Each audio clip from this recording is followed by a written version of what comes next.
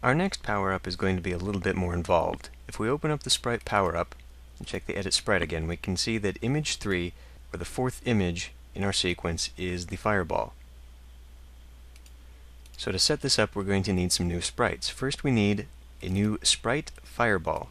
24 by 24, the origin is centered, and precise collision checking. In the power-ups, I've also added a sprite hitbox, which is just a random color. It is 72 by 32, the origin is centered. And I've added a sprite explosion, which is an animated sprite with 7 frames in it you can see with the preview what it will do. That is 64 by 64 and the origin is centered. And then in the object I have created an object hitbox which is not visible and uses the sprite hitbox. And then I've created an object explosion which is visible. We aren't going to create a separate object for the fireball. We're just going to change the object ball sprite into the fireball sprite and change how it behaves whether it is in the fireball state or not. So open up the object ball again, and in the create event we are going to give the object ball a new variable. So come over to control and set variable. And I'm going to call this is underscore fireball and the value I'm going to give it instead of a number is false. A variable that has a value of true or false is called a boolean variable. So click OK. And before we do anything more with the object ball, let's open up the object power up again. And let's set the behaviors in the object paddle collision for when it is a fireball power up. So underneath our decision 2, we have this else destroy instance that we put in last episode. And above the else, we are going to put in a new test variable. So we can just select this copy it, and with the else selected, right-click, paste, and it should paste right above the else. Let's change this decision from 2 to 3. Click OK. And since this is not affecting the paddle, but rather the ball, we can get rid of this change instance into object paddle. It has nothing to do with the paddle. And we will change the sprite into our sprite fireball. We also need to change what it applies to. In this case, other would be applying to the paddle, since this is happening in the paddle collision. And self applies to the power-up. To get it to affect the ball, we actually now have to check this object, and we can specify which object we want it to apply to. So now we will select our object ball, so that when a fireball power-up hits the paddle, it will change the ball's sprite into the sprite fireball. We also want to change the ball's is fireball variable to true. So come back to control, set variable, and drag that above the destroy instance. We will make it apply to our object ball, and the variable is underscore fireball. The value will be true. Click OK.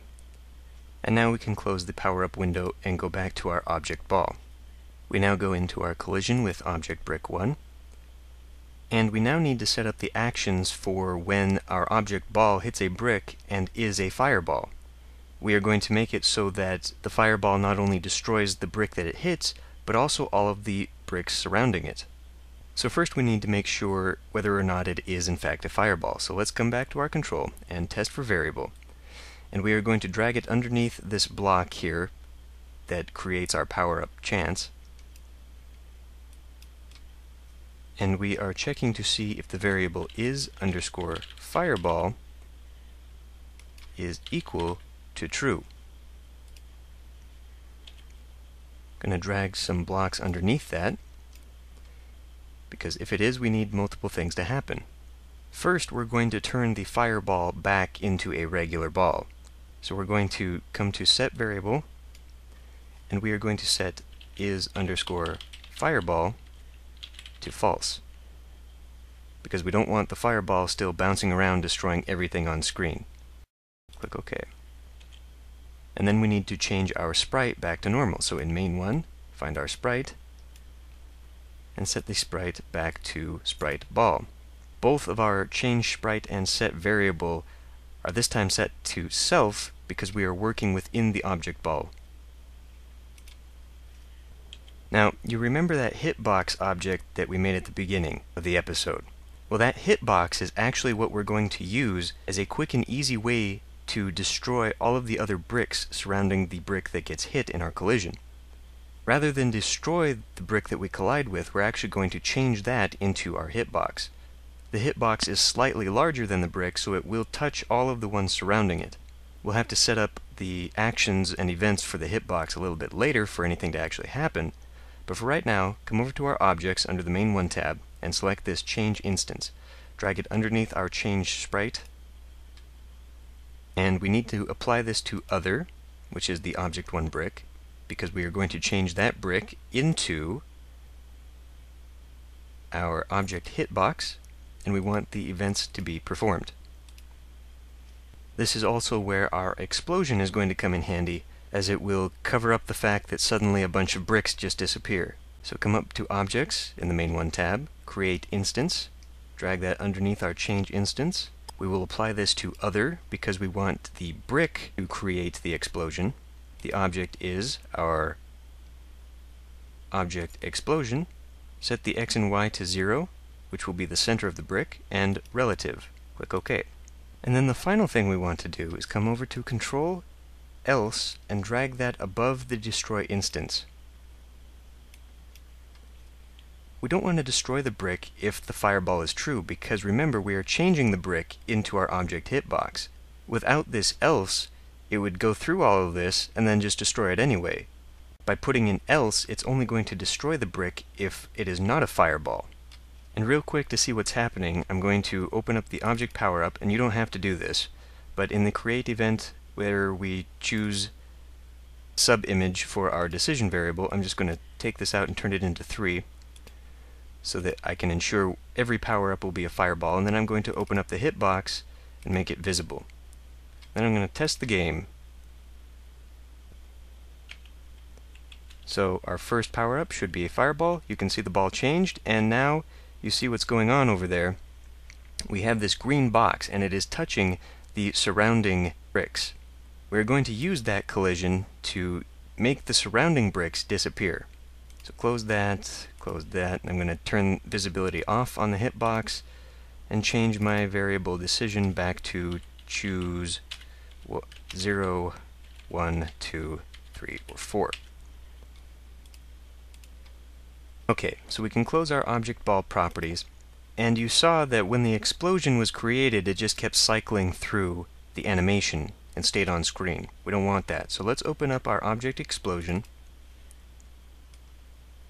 And in the events, we're going to add event, other, and come down to animation end.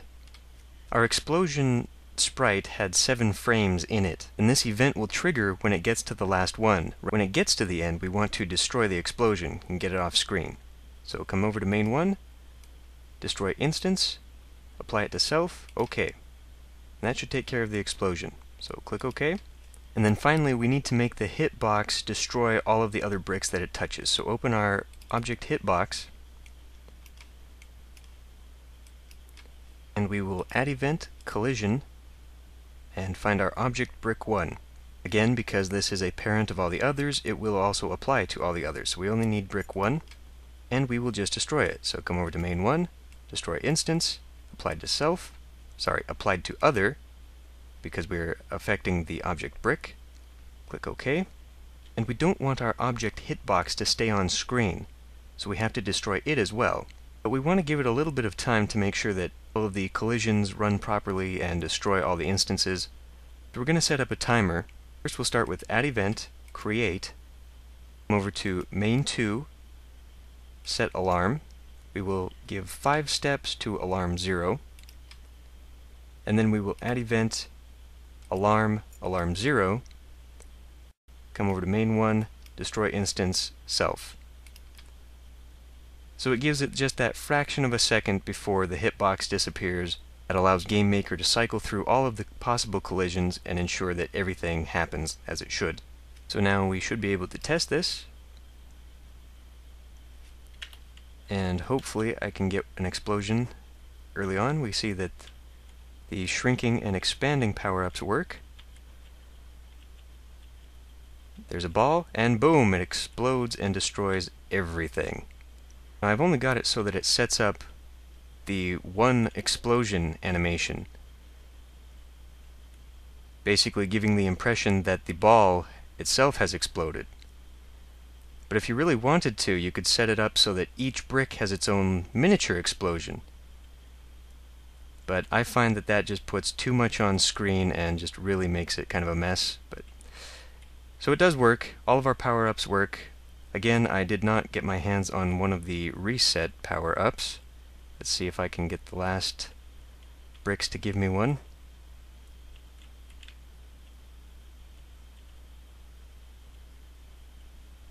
Ah, there it is, and it sets my paddle back to normal. So now we have ensured that all of our power-ups so far work, and I win. Okay.